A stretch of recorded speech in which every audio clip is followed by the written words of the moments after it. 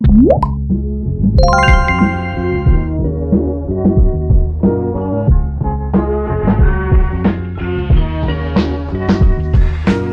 thing is so lame. Good morning ladies and gentlemen, vlog number 332. Quick update vlog because I want my Malaysia vlogs to start on vlog 333. That would be really nice. But today is Sunday, I'm leaving on Tuesday. That means there is less than two days before I leave for Malaysia. It's gonna be very exciting. I'm gonna be making a vlog pretty much every day if I can. I'm gonna make sure I upload daily like I normally do on my trips on this camera. It's gonna be really nice. I'm gonna be playing the second movement of Merlin again, but a better version than my recital, because my recital version was okay, but I made a lot of mistakes, and I didn't end it on the right note. I ended on like a C. It's just really annoying because I practiced that ending so much only to end it wrong. So I wanna do a good job at this competition. And I'm also playing Mudra, which is the work from Bob Becker. I'm the marimba part. And as you can see, it is just like. It'll be a lot of fun because we'll get to see the legendary Gib Chan play a snare drum solo. As you saw two vlogs ago, Jet and I are playing Blue Ridge together as well. But of course, we have to deal with things like different marimbas. I think they're giving us the Adams Artist series. A lot of you guys have been asking me what I think of the Adams Artist series. I think it's an awesome marimba. I'm not a big fan of the frame. I don't like the little hand cranky thing that it has on the side, but I think it, it sounds pretty good because it's an Adams, and the Adams marimbas generally have really nice bars. And finally, we're playing the Mancini drum set concerto, the one that has like a drum kit and like a percussion ensemble behind it. We've got a soloist, I think his name is Yuri. That's the piece that's going to be with everyone in the ensemble. Again, I have never met any of these people before, so it's going to be really awesome. But everyone's going to be in that. I think I'm playing vibraphone for it. I'm not so sure, but that is a piece that I played two years ago. I think it was just one year after this photo was taken. I haven't practiced that one as much because I'm already familiar with it and it's a pretty easy piece compared to those two.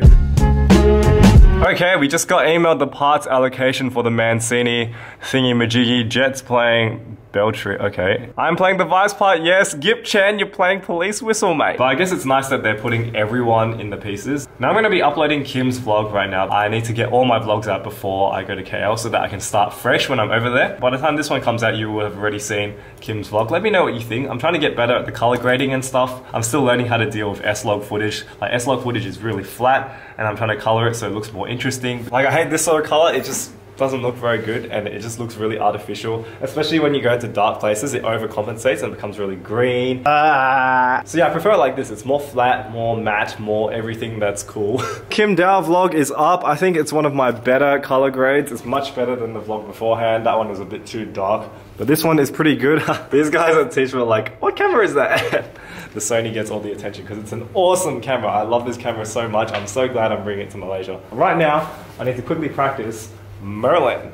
I have not played it all the way through for a while now. I need to play it all the way through though, just in case, because obviously that's how it's going to be performed. So let's give it a go.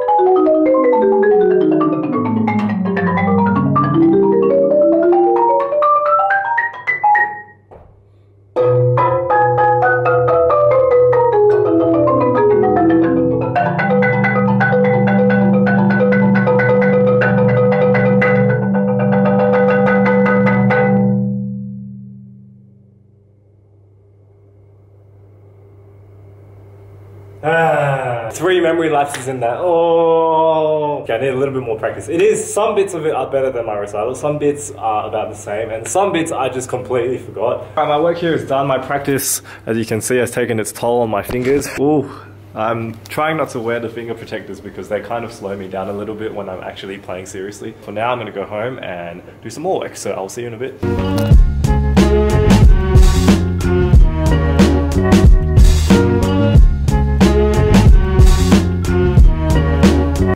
Okay, welcome back to the office. It's I've actually cheated because the video started like two days ago and now it's Monday. So I'm actually leaving tomorrow. Oh my god. Oh. So obviously I'm not gonna bring all of this. This is way too much stuff to bring for a normal person. I mean, okay, unless you guys just really like bringing mallets, but this is just way too much stuff everywhere. This is the most useful thing in the bag. So yeah, I'm back in the office to figure out what I'm gonna bring to uh, Malaysia. I'm losing my voice a little bit because I suck. I'm gonna have to disconnect a lot of this stuff. I'm gonna have to take some of this stuff and some of that stuff and some of that stuff and some of that Whoa. stuff. I don't even know that I own half of these mallets. Like, oh, I used to play timpani. That was a long time ago. so what we're gonna start with is not a random brush from the middle of nowhere or a screwdriver. This stick bag, I think I'm gonna bring this stick bag. It holds all my stuff. It's very compact in size. It's very robust. It's just the most convenient thing to have during rehearsal. So what should I put in it? The Keiko Abes, which are not mine, they're Jets. I'm also bringing the Van Sices, which as you guys know are my favorite mallets. I'm bringing all six of them. So the twos, the threes, and the fours. And then of course we've got Jets Abes, which are the sevens, sixes, and fives. This is for Blue Ridge as well as Jet's new piece. I'm hoping I can get a video of that for you guys. Jet also wants to bring a pair of 4Rs and he wants to bring this triangle beater. Don't ask me why. Jet's also going to be rolling with these Tom Gauger TG15s, which are a very popular snare drum stick in Australia. Because you never know when you might need to hit a snare drum in some place. In addition to these mallets, which are like the core mallets for pretty much everything we're playing, I'm also going to need to bring these, the Miceli's, which are my vibraphone mallets, the go-to vibraphone mallets. They're my favorite. They sound amazing. Um, they are well worth the price. They have banana stickers on them, which adds 15 kilowatts of horsepower. Very good vibraphone mallets. So I'll put those there. And instead of bringing the bolted blues, I, like, I see why people like them, but I don't really want to bring these because they are very old and torn. So I might instead test run with the brand new Dragonfly Vibe Mallets and then I can actually review them because I'll actually be using them. So I'm gonna add that to the pile. And then I might bring the pink Zeltsmans as well as like a warm marimba mallet option in case my Van Sices are too hard or something. And that should be enough. That's already quite a lot of mallets as you can see. Um, it's not the most amount of mallets. Obviously, you guys know I have like 50, 60 pairs of mallets, but I don't want to bring like 50, 60 pairs of mallets because I'm not going to play 50, 60 pairs of mallets. One, two, three, four, five, six, seven, eight, nine, 10, 11, 12, 13 pairs of mallets, which is quite low.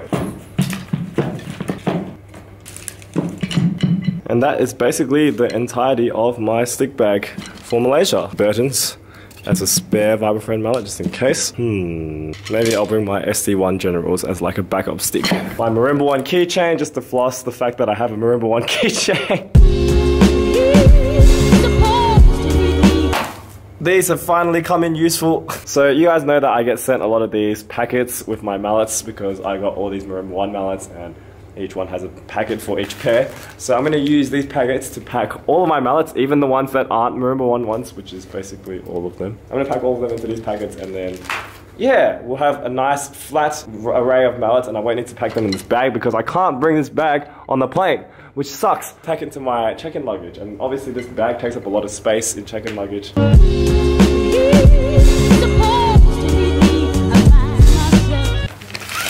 Man, size expensive.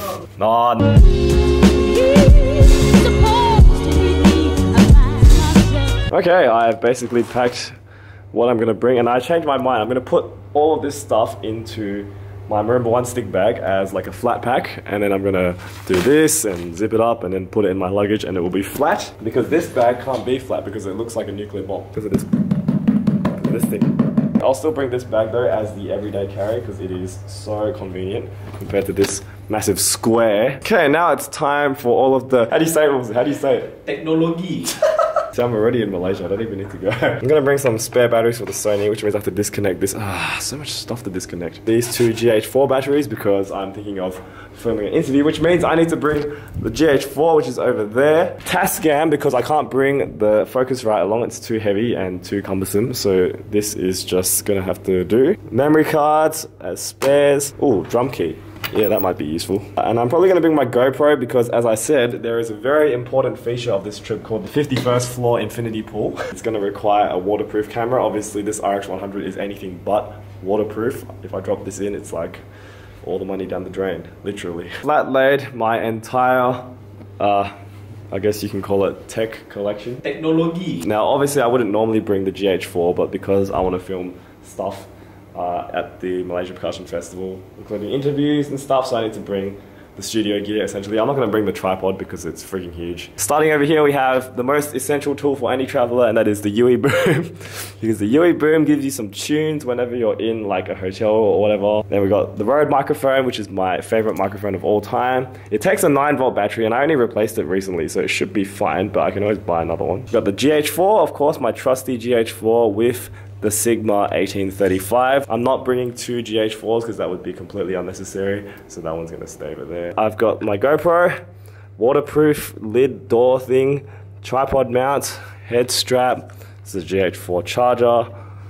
And over here we have the Tascam, which is my portable recorder. It may need more batteries, but as I said, I can probably buy them. RX100 battery charger, which I got from eBay and this is S120 but it actually is RX100 I should probably cross that out. My keyboard which I use for editing and it is completely disgusting. I actually hate it so much but it's the only keyboard I have that's wireless. Then my trusty MX Master which is the best mouse ever created. I love it so much. In case I need to do any sort of ROB editing or whatever I'm gonna use that. And then over here I have my laptop stand. It isn't really much at all. It collapses down quite flat and quite small so I thought I might as well bring that as well. Got some power bricks uh, some USB chargers some cables I'm gonna put more cables in here when I get home. Obviously I need my phone, but that's charging over there. Also need one of these thingies. Boom! Oh yeah, I almost forgot. Always gotta carry a roll of duct tape because last time I went to Melbourne, I think it was like two years ago for when we did a concert, and I was the only person who didn't bring duct tape, and when we had to like tape up our uh, setups and stuff, and I didn't have any tape, and it was really awkward. So I'm gonna bring my own duct tape this time, and also some extra tennis tape in case my Van Sices decide to fail on me and fall apart, which would be very annoying, but if it happens, I'm ready. Mallets, that's an empty bag which I'm gonna fill with some of my camera gear to take on board because I don't think this is gonna fit in my luggage. Some miscellaneous chargers, my GH4 is in that bag, I'll deal with that later. And then that unsightly pile of mallets is just there because it's just there. Turn off all of the PowerPoints. That's something you have to do before you leave. I'm gonna miss this place. I know I'm only gone for like a week. My my throat is gone. oh, but I haven't been on a solo trip since, well, since I went to New York last year. I haven't been on a solo trip at all, so this is gonna be nice. Oh yeah, I'm gonna bring Wilson as well. Huh? I think I'm going to end the vlog there because my voice is screwed. But I will see you tomorrow, vlog 333. That is the start of the Malaysia vlogs in Malaysia, Kuala Lumpur, Malaysia Percussion Festival. I'm gonna have some time to chill, so I'm gonna bring you guys along. I'm gonna say goodbye to the studio for one week, two week, ten week, one. Six days, and then I'm and then I'm coming back here to do my usual walk-in through that door over there. Thank you so much for watching. Oh, my voice is screwed. I will see you in Malaysia. Good night.